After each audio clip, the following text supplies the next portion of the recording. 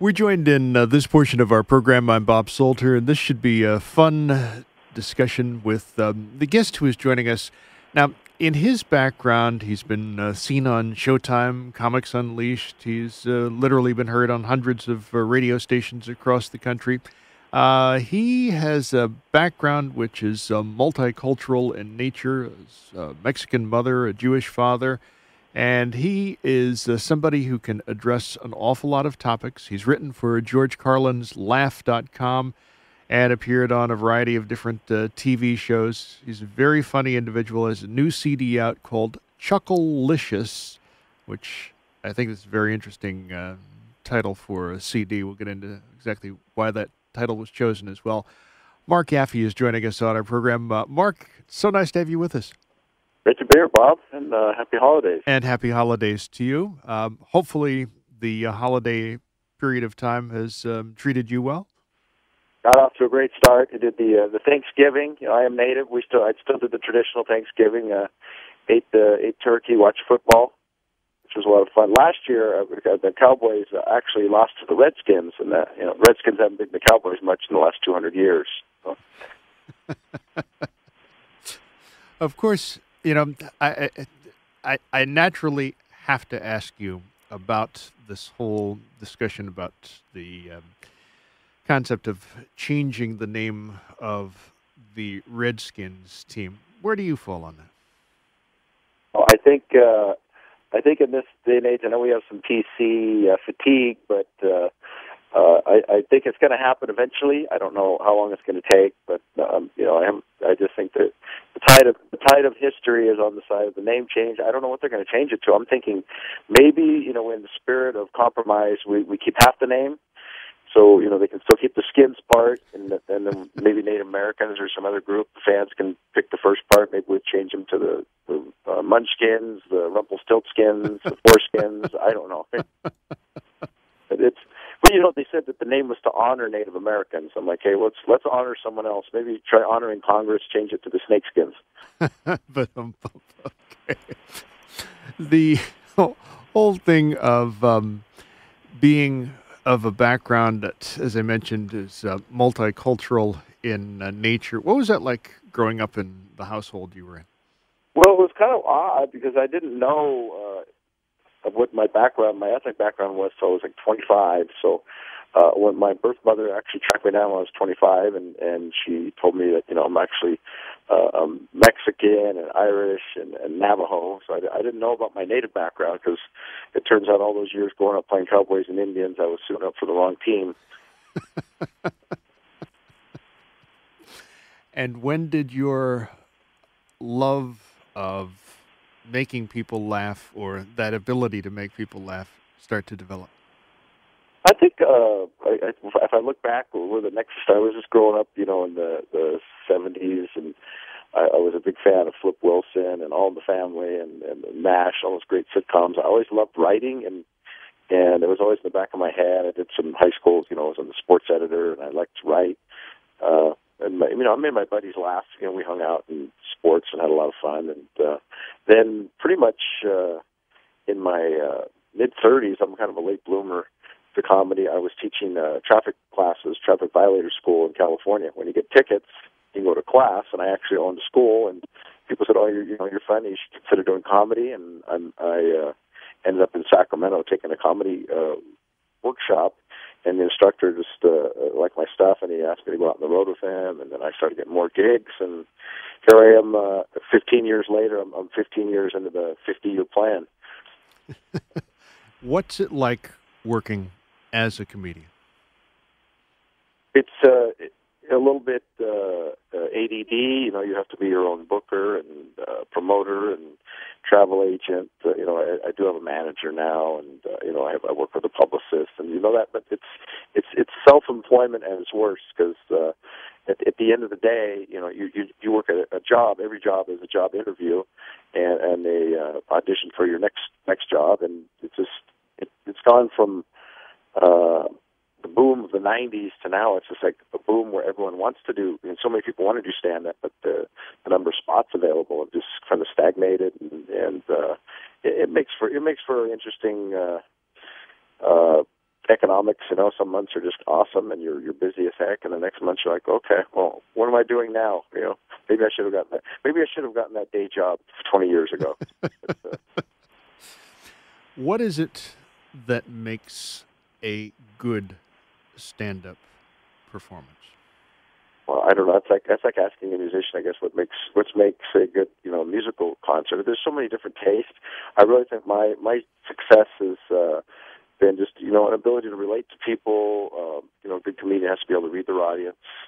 Um, you got I, I like to push the envelope, but just you know not just uh, drive people to uh, the point where they're uh disgusted or, or offended. You know, I mean, I think, especially being being part native, being able to push the native envelope. You know, like I'll joke about, you know, hey, I love, you know, I'll be an audience and say, I love this audience. You know, you, you guys can take a country, you can even take a joke, and, and people, you know, just get responses like that. It's, it's always, uh, I, I always get a kick out of it. But I think it's keeping the audience in the loop and and, and letting them realize that, uh, hey, you're you're in on the joke too, and you're no, I'm no smarter than you are. I'm just uh, I'm just bringing you along for the ride.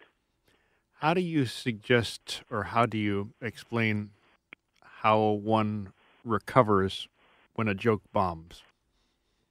I just I just uh, keep shooting them, you know, just blasting away. I'm a I'm kind of a rapid fire comedian that uh, you know, I'll, I'll joke it off sometime. I'll say, you know, hey, like the other night, I had some joke. I just tried a new joke. I just they just stared at me. I said, you guys, you guys are, you guys are looking at me like the the Pope at a wet T-shirt contest, or I'd come up with something. You know, it's, it's amazing. But the, the the brain will just concoct a, you know, a, an escape hatch. You know, it's uh, that, that's part of the fun of it. And people enjoy the improv part of it too, because you know we've seen so much everything's so staged now. You know, even our reality shows are staged, and you know, you look at look at Duck Dynasty. Everyone's like, "Oh yeah, that's man, that's amazing how spontaneous that is." Well, yeah, the the interviews are spontaneous, but a lot of the reality shows are, are actually pretty scripted, and you know, there's a lot of uh, coaching and stuff going on. So, you know, comedy keeps comedy still keeps its freshness. One of the few industry, you know, few entertainment uh, outlets where people can really still have a, a freedom of speech that whole appreciation for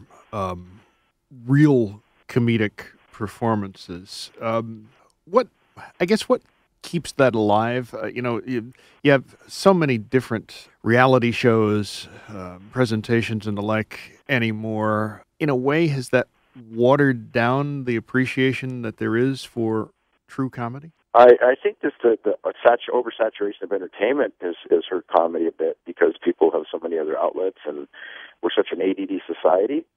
But at the same time, when you can get people into a live audience where you get so many different, you know, backgrounds and ethnicities and people attending the show and bringing them together, just laugh as a group is is cathartic. I think it just brings people together. That's awesome. It's when you're in an audience, it doesn't matter, you know, how rich or poor you are, how how drunk or sober you are. I mean, if if it's funny and you're all laughing together, it's it's a you know it's a really a, a unifying energy, and I I think that's that's an awesome thing because you know you, you don't see too many uh, people in the audience going after each other at a comedy club. They might heckle the comic, but people you know they they just somehow get along in a comedy club, which is I think is awesome. Comedy still has a that effect. The other the other thing about comedy is we can say what people are thinking, and you know they can't just go blurting out at work on the at the you know at the uh, airport. You know what they really think of TSA, or you know how how really crappy they think the uh, the airlines treat people. And when it comes to handling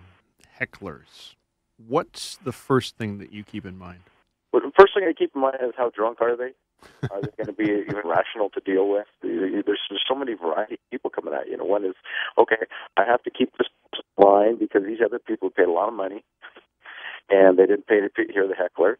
And if you hammer the heckler too hard, the audience can turn around and say, "Well, this guy's been kind of a jerk. That person didn't deserve it." And if you're if you're too nice to them and they you give them a window, they just keep coming back at you. So it, just try to thread the needle and and and shut them down in a nice way. And like I said, my my style is just, "Hey, I got I got way more material." You know, I'll say, you know, if you're sitting there, you you you know, you pound the drinks, I'll tell the jokes. That usually shuts them down there, and then. uh we'll just we'll just see where it goes. If they want to go toe to toe, then hey, we can do that too. But uh, I, I tend to, you know, I, I like I like to uh, have a non-adversarial relationship with my audience. Some comedians really enjoy, uh, you know, uh, stirring up the hecklers and, and going going into the audience. And that's that's been uh, good and bad in comedy. Cause some people are like so terrified of that the uh, uh, comedian's going to pick on them. Like, well, they're only picking on people who are really causing you know trouble and and mouthing off. So you don't have anything to worry about if you're just sitting there enjoying a drink. Do you look for? Do you feed off the reaction of the audience?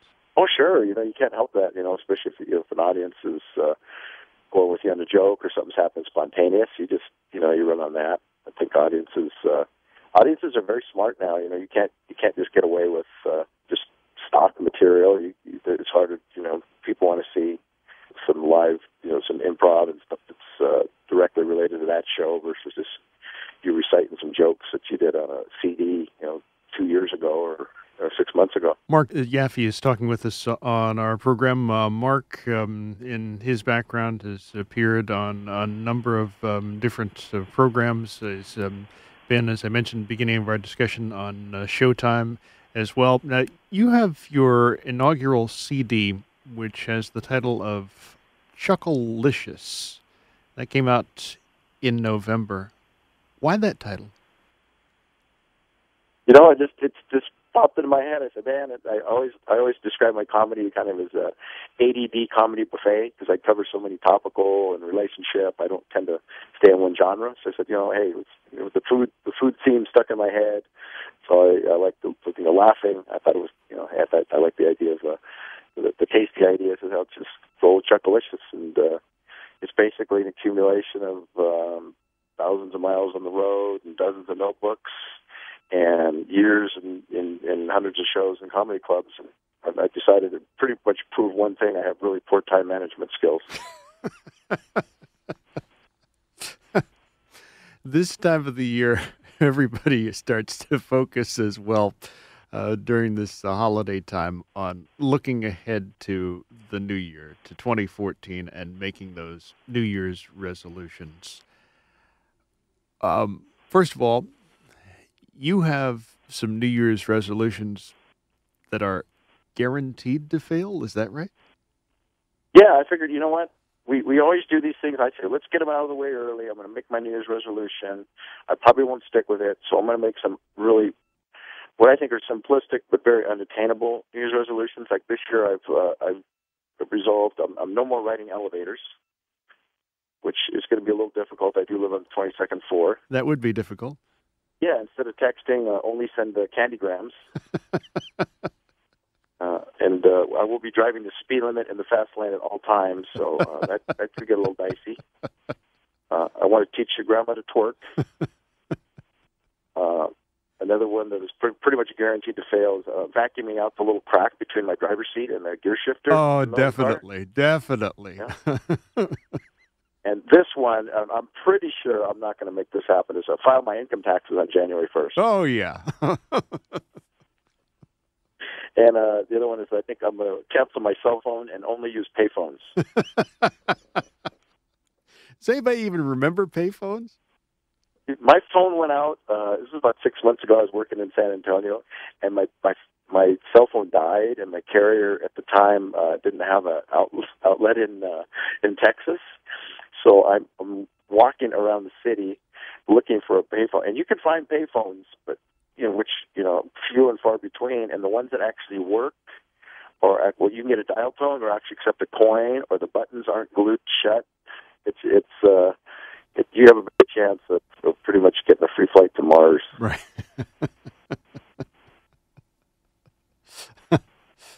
well, those resolutions being guaranteed to fail, do you actually make a New Year's resolution?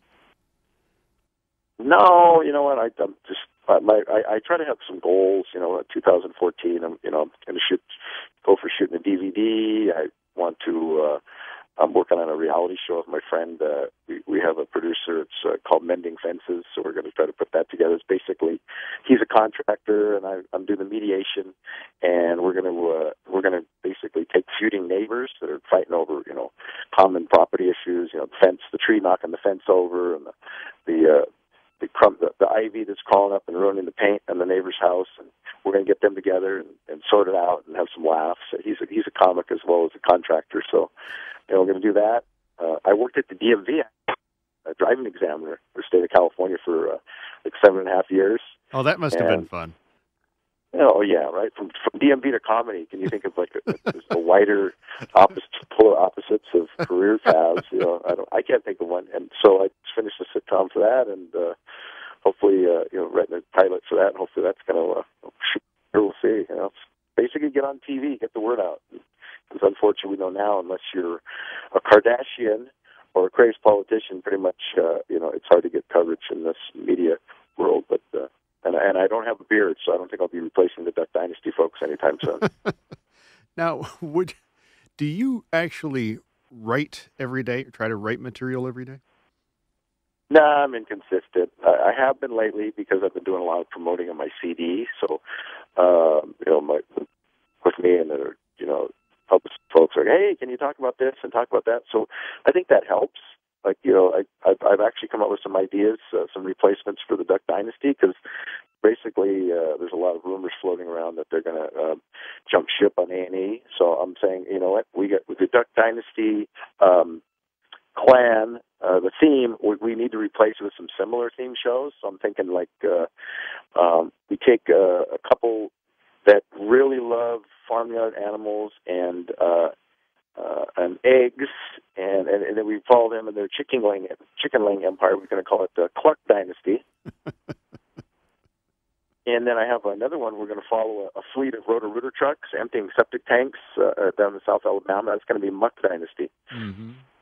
And then my my other one. This will be Canada because we don't want the Canadians to feel left out. Uh, the McDermott family up there in Thunder Bay, Ontario. They're going to manufacture uh, hockey equipment from their uh, cabin. We're going to call that Puck Dynasty. I could see that one coming. Right? That was that was like a bad slap shot. I know. or maybe we just turn the camera on Congress and call it Schmuck Dynasty.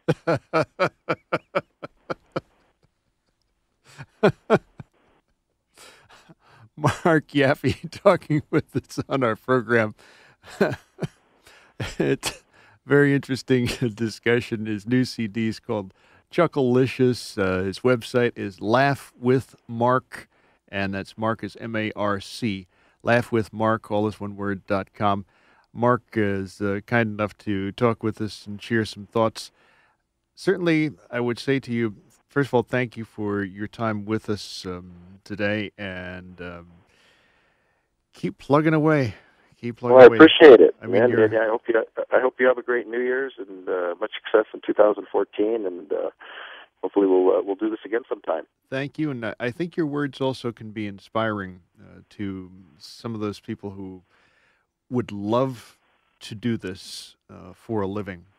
Hey, you know what? I think it, it, you never know because I mean, my family always looked at me like, "What? Did, you're doing what? You're going to be a comedian?" They just they never quite took that seriously. I mean, if you if you really you, know, you have a love for making people laugh, you really like to laugh. You know, write that stuff down you know, study study some comics, go hit an open mic, start with two or three minutes, and whatever you do, don't invite your family and friends the first three or four times. That's that's the number one mistake because once once you lose them, they, your support group's gone, and you'll be back to uh, you'll be back to singing karaoke. very good advice, Mark. Thank you very much for joining us on our program. Thank you, Bob.